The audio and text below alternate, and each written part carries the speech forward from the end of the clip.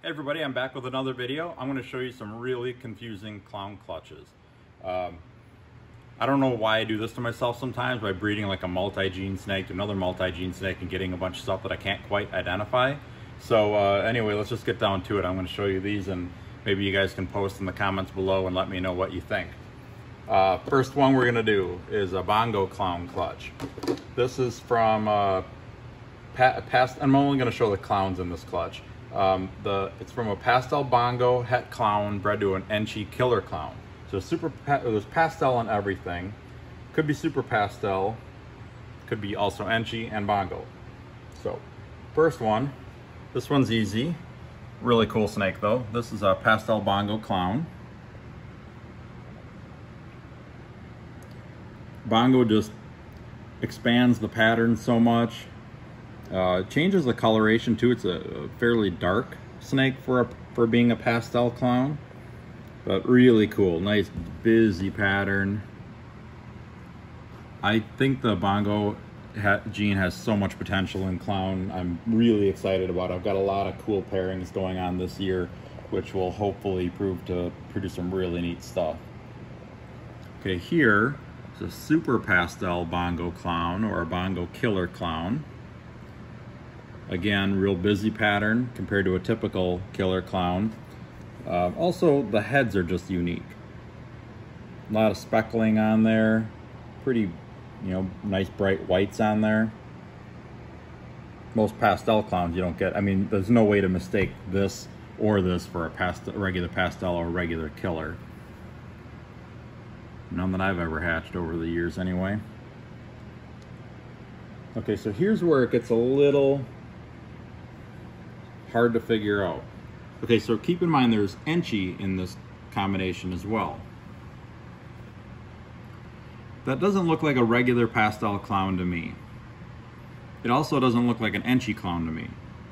Enchi clowns are much more uh, just striped. They don't, you know, sometimes the stripe is broken such as that, but they don't have like all the spotting on the sides.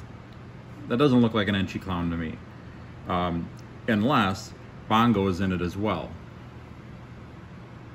But can you go from this to this just by throwing a dose of Enchi into it? The head is kind of similar. You know, this one's obviously a much whiter head. I'm just not sure. It's hard when, you know, I, I don't know if anybody else has produced Enchi Bongo clown clutches, or, or I know a couple people have, uh, one person that I know anyway, but, um, you know, it's just, it's so hard to figure some of this stuff out. Okay, and here's the other one. Again, kind of that bongo clown or pastel bongo clown type of head, but a fairly busy pattern, but doesn't look like a typical killer clown pattern either. Clowns in general are pretty varied, so it's kind of hard to say for sure, but I'm thinking that there, these may be, this may be a super pastel Enchi Bongo clown, and this may be a pastel Enchi Bongo clown. But I don't know. I looking, I keep going back and forth. I've been looking at these guys ever since they hatched, and I keep going back and forth.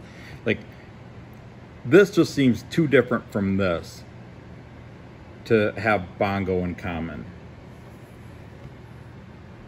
But I don't know I'm just not sure. If any of you have any opinions, I'm happy to, to hear them. Any other breeders out there, anybody who's produced Bongo Enchi clown stuff, uh, feel free to comment or message me. I would love to hear your input. I'm always willing to listen to what other people have to say. I'll never claim to know everything about everything with this stuff. Okay, so that was the first clutch. This is the easy clutch too. Wait till you get a load of this one like I said, I don't even know why I did this combo because I knew I was going to have problems with it, but I don't know. I'll just show you. Okay, so this one is from a banana pastel calico yellow belly clown. So banana, pastel, calico, yellow belly. So four genes plus clown. Bred to a pastel bamboo het clown. Let's get these two out of the way first. Got a pair of twins they don't look like twins, but they came out of the same egg. So this is a pastel calico,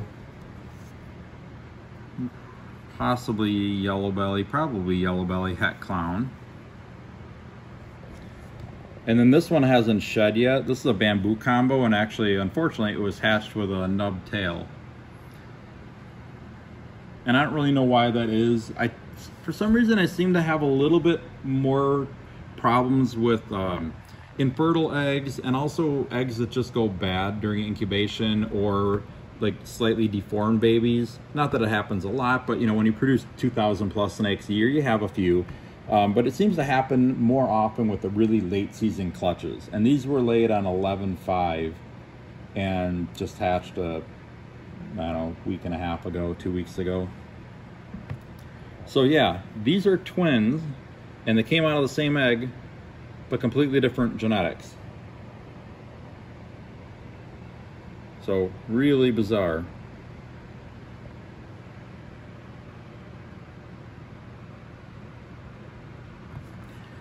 Okay, now on to the clowns.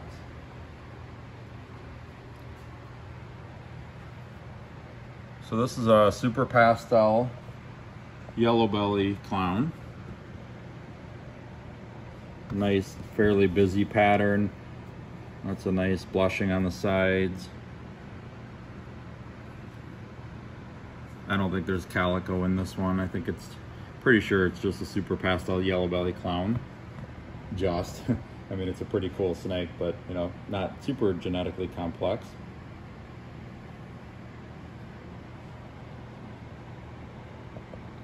Okay, now let's start getting into where it's more confusing.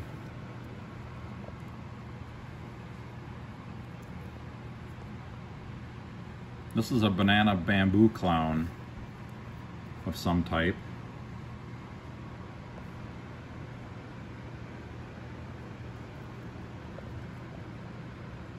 Here's another one.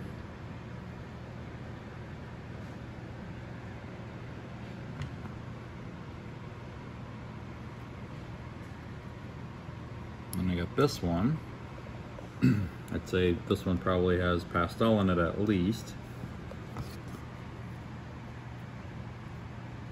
You know, the problem with these is that the pattern is so light, it's just hard to even see what other genes are in there. I mean, this could be a calico, it could be yellow belly, it could be both.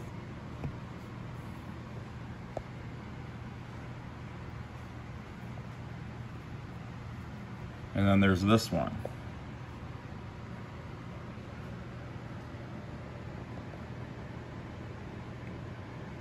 I think there's banana in all these, but I'm not 100% sure.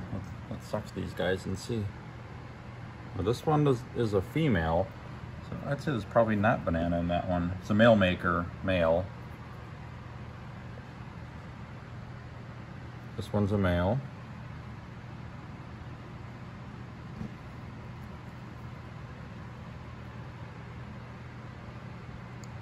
Female.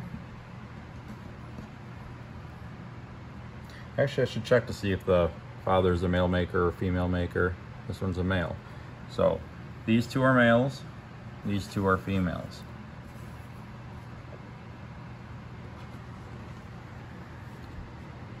Really weird, confusing stuff. And I did it to myself. Now I'll have to put these guys on the shelf for who knows how long and just wait and see what they grow into. Um, so yeah, I wanted to see what what the banana bamboo clown looked like and decided to throw some other genes in there too. So it'll be interesting. Maybe uh, I'll let's have to breed some of these to some other, you know, something simpler like a normal clown. I still do have some of those here breeding. Uh, you know, breed some of these to a normal clown and see what individual genes come out. And that way I'll know what to look for if I ever hatch these out in the future. That's kind of a lot of what this is, just trial and error and learning as we go along. You know, five years from now, if I hatch a few more clutches of these, I might say, oh, that's that, and that's that, and that's that, you know, be able to figure it out pretty easily. But sometimes when you're first hatching these, it's just really, really hard to tell. All right, well, if any of you have any ideas about any of these, definitely let me know. Also, you can uh, leave a comment below and uh, I will try to keep up with reading all of them. Uh, in the meantime, definitely check out my website, royalconstrictordesigns.com. I've got a lot of new snakes up for sale right now, and I'm actually adding on a lot more. I've got probably another 300 yet to add over the next few months. It's just whenever I get time to do it, I that's when I put them up.